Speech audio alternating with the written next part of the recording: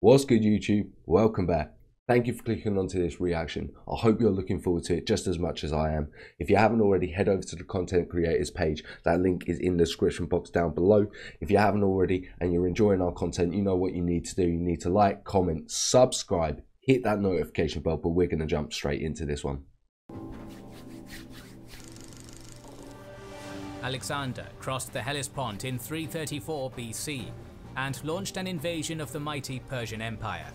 Soon after, he crushed a provincial Achaemenid army at the Battle of the Granicus, leaving all of Asia Minor ripe for conquest. However, before the Right Macedonian Alexander's army taking. could push deeper into Darius's empire and face down its giant armies, it would have to deal with a number of stubborn cities on the Aegean coast loyal to the great king. It was time to. Darius weren't no great king, really, was he? whether the military machine created by Philip could handle a siege. Join kings and generals in this third episode of our series, covering the sieges of Miletus and Halicarnassus. Halicarnassus. One of the most iconic events in the campaigns of Alexander is his cutting of the Gordian knot. Let's see what this episode has in store for us then, guys. Okay. Reports of what had occurred at the Granicus reverberated throughout Asia Minor with prodigious speed and to immediate effect. At Ephesus, the mercenary garrison, together with one of Alexander's exiled court rivals, Amyntas, seized a pair of warships and abandoned their post, making their way to the great king's court. So they were fleeing. Marching from Sardis, the victorious Macedonian king captured Ephesus without resistance after a three-day march, before rendezvousing with his navy and receiving emissaries from other Lydian towns offering submission. Intent on securing his conquest, So, um, you don't want to sound harsh, but Darius III is really an embarrassment to the great Persian king, such as Cyrus the Great and Darius the Great. Um, why so? Why, why do you think so? Just, I don't think he was that great either, but I'm just sort of wondering why. Um, Bruno, you also think that Darius was a mistake. Uh, Light saying the siege was covered was covered in the two sorry, the siege was covered in about two seconds in the Extra History TV's version, so this should be completely new to you. I'm looking forward to seeing how this siege goes then, because um, yeah, it'd just be interesting to see, like they said, how Philip's army can handle a siege. Indeed. before advancing inland. Alexander appointed Parmenion and Alcimachus each a contingent of several thousand troops and sent them off to assure the capitulation of settlements throughout Ionia, Lydia, and Aeolia. Mhm. Just Their trying to bring them into his fold as well. Greek cities were to have democratic governments installed, oligarchies were to be deposed, local customs were to remain unchanged, and crucially, taxes cancelled, a gesture which never hurts a new ruler's popularity. Yes, very interesting changes and implements that they were trying to put into action within the region. At this point, while he was concluding affairs in Ephesus, Alexander received a number of important messages in quick succession. First came welcome reports that the governor of Miletus, Hegesistratus, was mm-hmm. prepared to surrender his city. Then came the definitely less welcome news that a massive Achaemenid war fleet had been spotted near Rhodes on its way to reinforce the area. So that's a bit of a worry. later- How much uh, naval force did Alexander have at this point in time? I'm very interested as well. yeah, I agree. Like, no taxes, sign me straight up. Alexander got wind that Hegesistratus, newly inspired by the knowledge that reinforcements were en route, had recanted his surrender. Realizing he had to act swiftly to prevent the city becoming a nigh impregnable Persian fortress, Alexander sent riders to recall his generals and then immediately marched south with what soldiers he had. Okay. The King's Hellenic League Bringing all the forces about together. 160 ships was sent ahead. Racing along the coast, it succeeded in arriving at Miletus before the incoming enemy fleet was anywhere close, where it set down anchor at the adjacent island of Lade. Mm-hmm. Not long thereafter, Alexander arrived with the army and occupied Miletus's landward outer suburbs without resistance, before establishing a blockade of the inner districts. Then, to reinforce his anchored fleet at Lade, The king further fortified the island with Thracian skirmishers and a few thousand mercenary Okay, soldiers. nice, very The interesting. massive Persian fleet finally approached Miletus a full three days after the Greek fleet had made its base at Lade. Yeah, so so they're well and truly cemented within that position. Can they defend it? Is the next question. I'm sure. Uh, I'm wondering. Uh, I'm sure the tax exemption was temporary. Of course, it was only temporary, DZ, but we all definitely wanted it, didn't we? Um, for sure. And Zods, because all all he really had to do was show a small amount of ta- sorry, tackle and a bravery, and he could he could have stopped Alexander. As great as Alexander was, he made mistakes. The Darius failed to exploit. That's the reason why he wasn't as great. I struggled to say that whole little sentence there, but I do see what you're saying, and I do sort of understand it. If Darius had have took um, the time to exploit the uh, mistakes that Alexander had made, then it could have um, sort of ended up completely differently. Alexander basically abolished the Macedonian nav- navy. There, they were terrible sailors to begin with and the upkeep was way too high. If he really needed a navy, he could call upon the Athens, which were expert sailors. That makes sense, and he had the ability to call upon them. Despite a numerical superiority of more than 2 to 1, and the Empire's expert Phoenician and Cypriot crews, the Persians realized they would not be able to mm-hmm. dislodge Alexander's navy from Lade, nor Yeah. easily deploy troops to bolster Miletus's defense.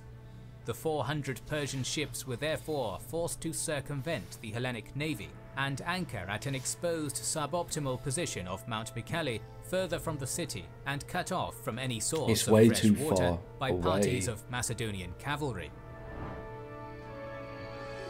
Making the decision to keep his inferior fleet on the defensive at Lade, Alexander began readying his siege weaponry and infantry to breach the city fortifications. I think that was the smartest thing for Alexander to do, though, was just to keep those ships there defending in the, As the king's the way. preparations were nearing completion, a prominent citizen came out on behalf of the mercenary garrison to parley. Mm-hmm. According to this messenger, the garrison offered Miletus as an open city, open to both Persians and Alexander alike, if only the siege was lifted. Alexander's unimpressed response was simple prepare yourselves for the fight. Yes, yes, Alexander. Yes. No, I can't be asked to deal with your sitting on the fence bullshit. We're taking it. This city's gonna be ours. You don't like it, we'll fight for it. Bring it on. The following day, Parmenion and Alcimachus returned, allowing an assault. Macedonian ballistae and catapults began hammering the fortifications, clearing sections of the wall, and inflicting Okay. structural damage, while battering rams advanced to create breaches up close. The main body of infantry was drawn up as this assault was ongoing, standing ready in preparation to rush in and widen any gap in the Miletian defences. However, Come on in, Alexander, how are you gonna do this? abundance of missile fire, the initial Macedonian attack was blunted with relative ease. Arrian relates how the nearby Persian navy, although unable to resist, were close enough to see Alexander's men advancing against their isolated allies across the bay with the naked eye. But As what time went was there just nowhere so I thought they had troops on the ships. Were they just not able to sort of dock up on the side there uh, and let the troops come out or were they supposed to be sort of used for artillery? What's the uh, point of the navy being there but not doing anything? on, the land The opposition gradually navy. began making progress.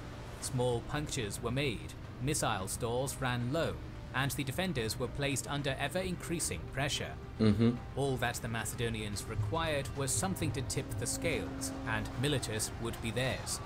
Seeing that the king had launched his assault from the land, Admiral Nicanor embarked his ships from Lade and sailed them into the Miletian harbour mouth, tightly packed in an ostensible attempt to prevent any Persian move to relieve the city.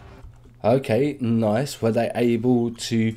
Were those areas weakly defended? Were they able to exploit and sort of uh, land troops there? It had a far greater effect than that. There you go. It had a far greater effect. In which way? Crumbling under Alexander's assault, this quasi-attack prompted a total collapse. the Macedonian army subsequently managed to get inside the city, primarily killing soldiers, but also civilians who might have been in the way. Mm. Of the Milesian defenders, just 300 mercenaries and a scattering of other warriors managed to escape to a steep-sided islet slightly offshore. When they surrendered soon after, Alexander granted them the mercy he had learned at the Granicus. The citizens There you go. Okay, so he gave a bit of mercy now, which is interesting, just because he knew the cost to not do so was going to be too high. Um, it didn't seem like this siege was too difficult for him either. who had survived the brief spate of violence were also left alone. Unable to prevent the fall of the city it had come to reinforce, and successfully prevented from foraging ashore, the still formidable Persian fleet sailed to Samos, restocked with whatever they needed, and then returned to Miletus, moving in open water close to the harbour entrance. Five Persian vessels were sent as bait to lure Alexander onto the open sea, but a swift hit-and-run assault by ten Greek triremes destroyed one of them and sent the other four running Nice. back to the main fleet. And I'm assuming they then didn't sort of uh, chase after them any further uh, and just sort of left it as that little skirmish, which was a good plan. To accomplish anything of use, the great king's armada weighed anchor and sailed south to Halicarnassus. With Miletus conquered, it was at this moment in mid to late 334 that Alexander made the strategic decision to disband his fleet. Not only would such an unconventional course of action relieve Alexander of having to bear the massive cost required to maintain said ships, but in truth, he did not totally trust their Greek crews. Oh, Moreover, king was okay. pragmatic enough to So was that what you was talking about like earlier when you said that um, the the uh, the Greek crews were too, too expensive? So at the start, initial parts of the invasion, he did have the Greek navy, but then he decided not to use them and then to sort of uh, rely on the Athens if he needed to. Um, if so, that would be interesting. Indeed, Alexander's later siege of Tyre was his magnum op.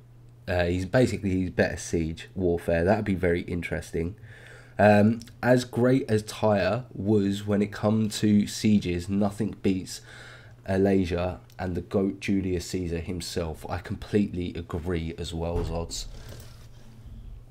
Realize that he could never hope to match Darius's naval strength on the water Mm-hmm. with or without a fleet of his own. Just 20 Athenian triremes were retained to ferry the army's siege engines.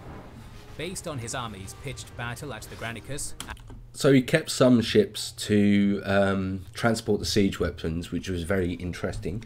And I assume that it's also going to help with supply runs, but they're not necessarily used for warfare. and siege at Miletus, Alexander judged that investing everything in a land campaign was his best shot at success. Okay.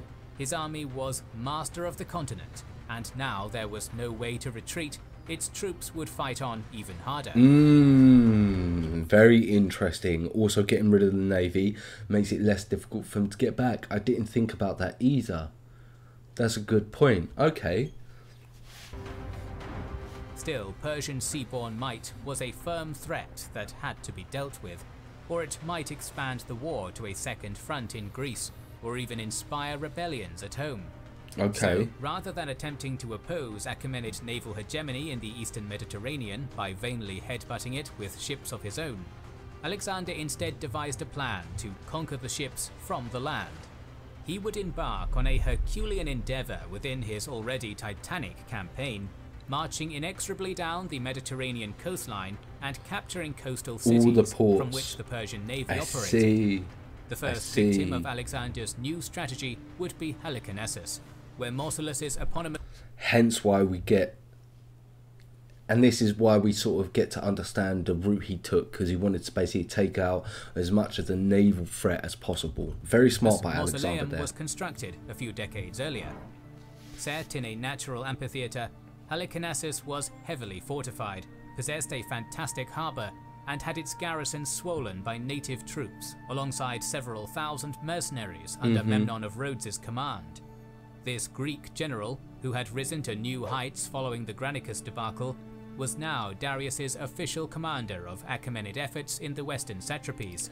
i remember that route to about this his showdown, Sorry, uh, just quickly there. I remember that Memnon sent his wife and children to the Great King at this point as good faith. I remember that um, information from the Epic History TV uh, video as well. Commander of Achaemenid efforts in the western satrapies. En route to this showdown with Memnon, Alexander stopped at the greatest fortress in the region, Alinda, mm -hmm. and was introduced to the exiled Princess Ada, Mausolus' sister. Until just a few years before the Macedonian invasion, this region of southwestern Asia Minor, known as Caria, had been ruled by a native dynasty known as the Hecatomnids, who were in turn autonomous satraps within the Persian Empire. Ada, a Hecat...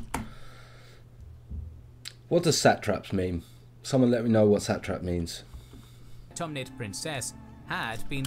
Is it like independent ruler, well, not independent, but is someone who sort of has independency within the region but pays taxes or some kind of um, exchange for that to another party who's higher than them. Um, and but but that person like so the the Persian king doesn't doesn't necessarily get to dictate the laws within the land. The just satraps need to pay the Persian king. Is that what a satrap is? The rightful heir before being deposed and exiled by her brother Pixodarus in 340. Mm -hmm. He died a few years later, allowing the Persians to marry the late dynast's daughter to Orontobates and install him as satrap. Mm, now, Ada okay. asked the king for aid in taking back her rightful position. By accepting this plea, Diodorus Siculus tells us that Alexander won allegiance from many of the Carian cities, so he's getting more populous within that region on his side and getting more popu- popularity, which honestly can win wars within itself, um, having the sort of cities on your side.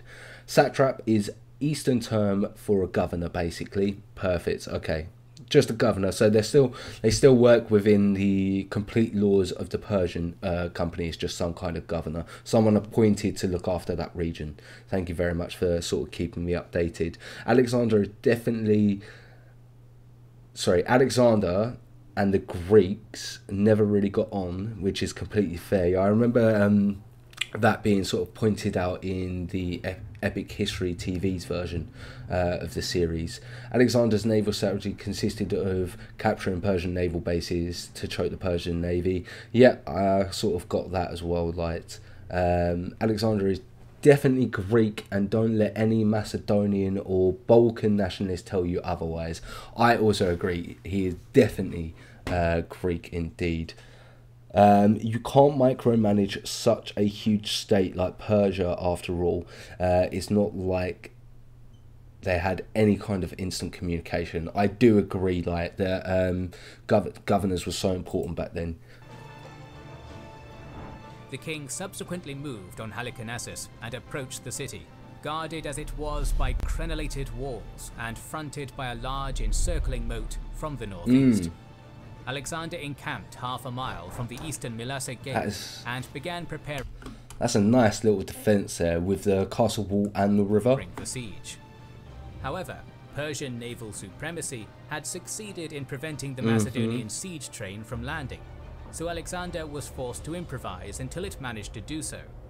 Mounting his steed, Alexander led a scouting party forward to have a look at the formidable defense. Ah, so the Persian navy have stopped Alexander's boats from getting there, so he has no siege warfare or supplies at the moment. Um, the siege warfare is very important because obviously they're trying to perform a siege here. They faced. Memnon was on him in an instant. When this scouting force approached, the Greek general had his archers and artillery fire upon the Macedonians from his walls.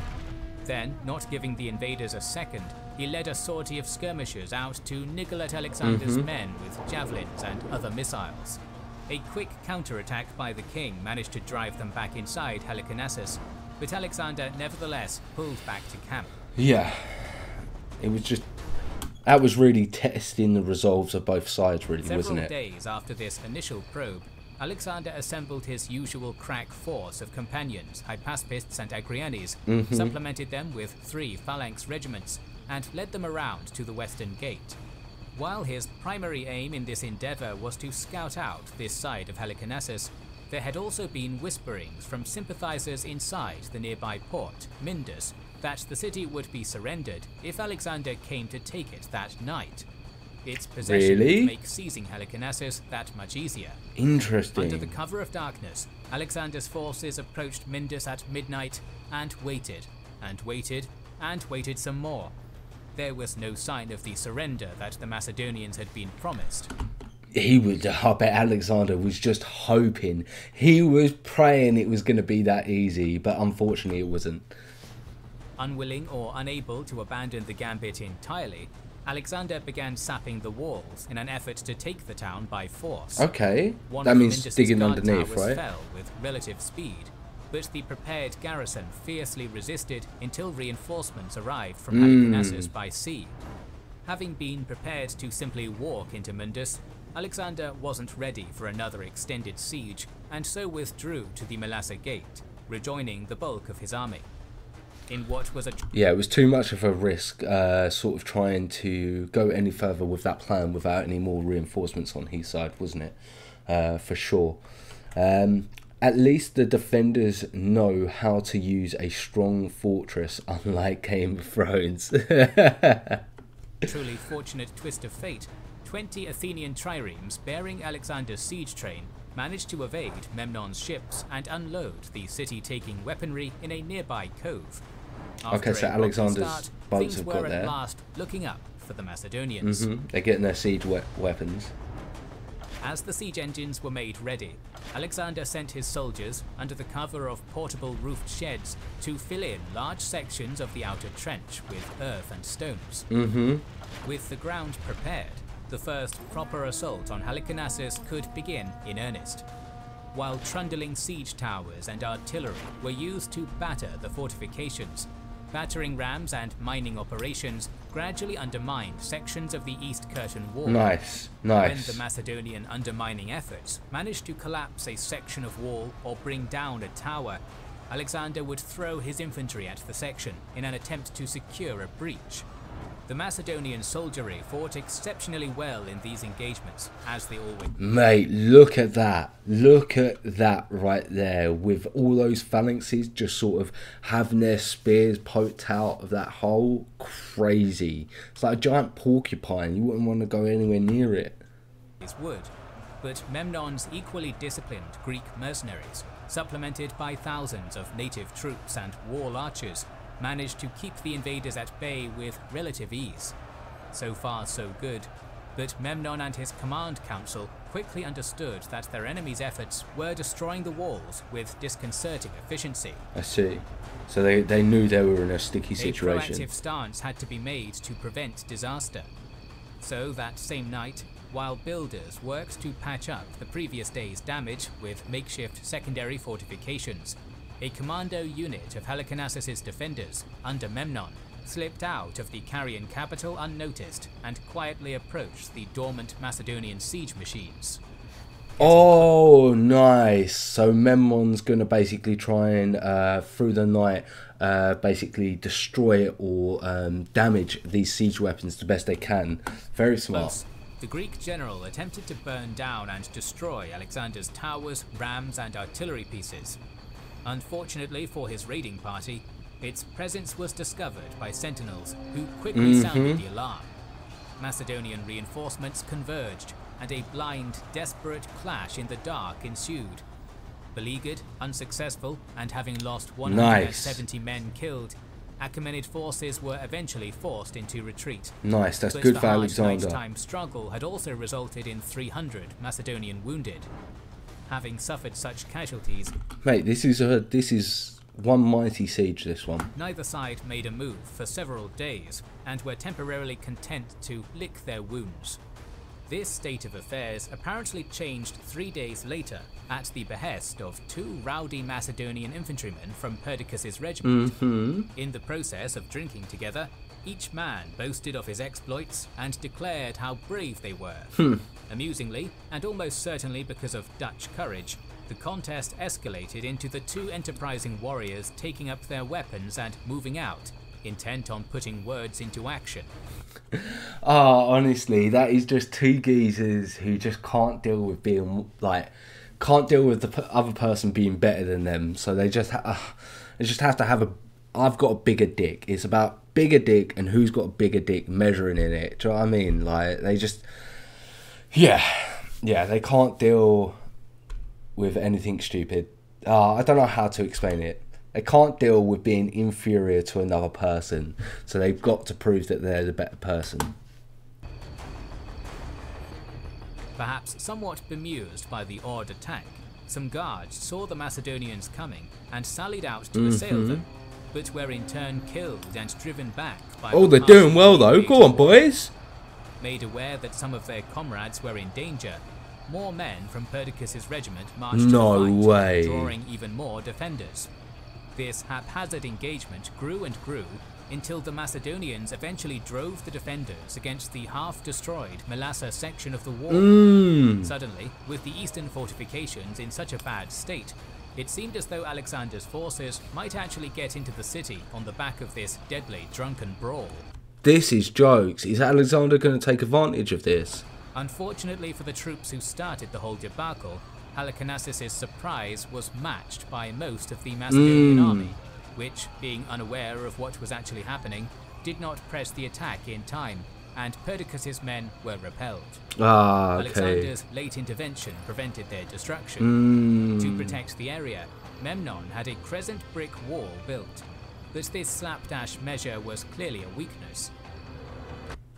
Yeah, what a shame. What a shame. But it so it provided more time for Memon to be able to make defenses within the um, areas that Alexander had already made weak. Still, Memon of Rhodes was probably Alexander's most dangerous adversary, but his death early on in Alexander's campaign put a stop to that. Interesting, like I wonder why. nature of this event disguises the fact that it was a Does he die here then? that claimed the lives of many on both sides.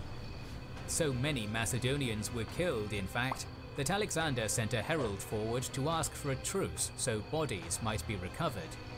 Two He lost that many men. Comrades, Ephialtes and Thrasybulus, advised their leader to deny this request.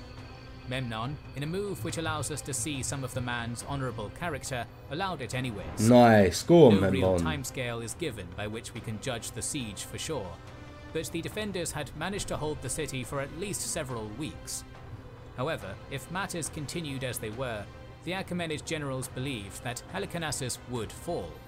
In a final gambit that must have made Alexander blush even as it made him bleed, Memnon sent 2,000 men under Ephialtes through the Mylasa Gate during one of the Macedonian attacks. While half formed a phalanx and doggedly held off the king's infantry, the other half wielded brands and caused a great conflagration among his siege engines. Interesting. Ephialtes' surprise attack, ably assisted by missile fire from the walls, was pushing back Alexander's infantry. Literally, so the uh, academic uh, men here just realise that they have to make a last stand. Is that right? Because otherwise, they're just going to lose this siege because of um, because of resources. They're going to lack lack food, lack water, so on and so forth. Um, yeah, the dog always wants some attention, DZ. situation became even more critical when Memnon sallied out of the northern gate of the city with Persian reserves, striking the Macedonian infantry in the flanks and rear.